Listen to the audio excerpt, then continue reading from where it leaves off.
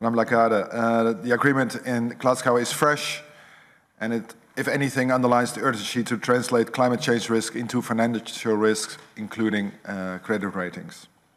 Now, already in October 2018, your predecessor, and he was not very green, Mario Draghi, pointed out that the Eurosystem was carrying out additional works to further deepen its understanding of rating, rating methodologies and rating processes. So my questions to you are the following. Do you agree that credit rating agencies have a pivotal role to play in ensuring uh, that climate risks are well integrated in the assessment of companies' financial health? Second, considering the work that has already been done in the past three years and the knowledge that has been gathered, would the ECB be able to speed up the process of assessing how credit rating agencies integrate climate change risks?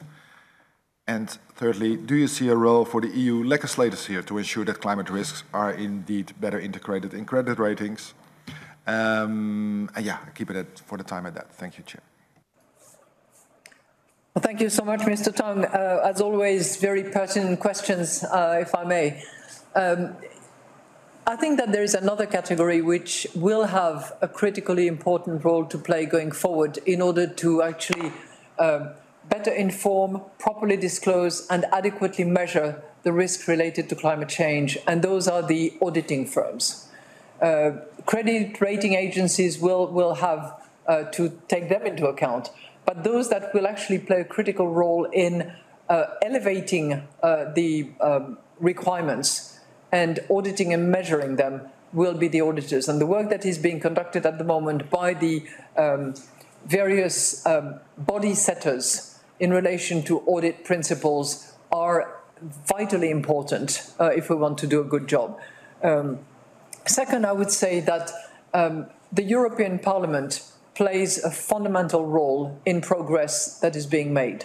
The work that you did a year ago in relation to taxonomy has been extremely important, is regarded around the world as pioneer uh, work, and of, obviously there are areas where we are not there yet, where certain sectors have not been rated exactly as was anticipated or has not, have not yet found a uh, space in the list.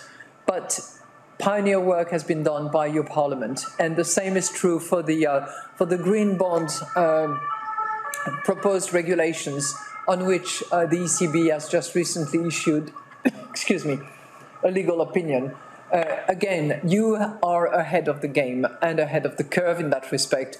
And while China has published its own green bond regulatory framework, I think the European Parliament is the next one uh, to have done so in a very comprehensive way and will continue to play that role. Thank you. Thank you very much. Now I give the floor to Ernest Urtasun for the Greens. Yes, thank you, uh, President Lagarde. I have the uh, chance to make you a second question. Uh, we haven't spoken much about the, uh, the accountability and the relations between the ECB and the European Parliament. Um, uh, here I would like a bit to know uh, how do you see the next steps? In the, your introductory statement you have spoken about um, to keep certain flexibility, that what matters is how we make things. But I would like to concretely ask you whether you would agree on having an interinstitutional agreement or not, or how do you see the next steps in our relations between both institutions? Thank you.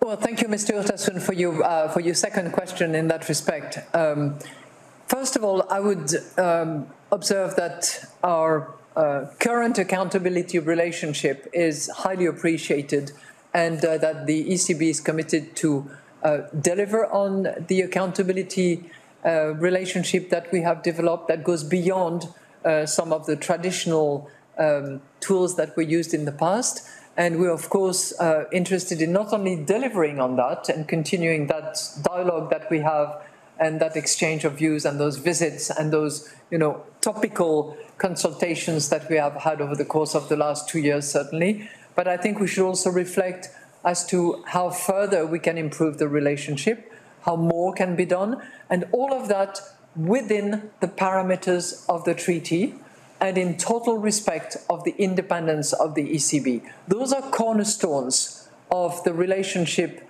uh, that, uh, that we should have in the future. The treaty is very clear on what we can uh, do, and I think the independence of the central bank is something that was also uh, embedded in the uh, in the setting up of, of this of this institution. You know, I'm not I'm not dead keen on a particular label, and I think that we should be mindful of not undermining the treaty provisions uh, that actually provide for the relationship between the ECB and the European Parliament.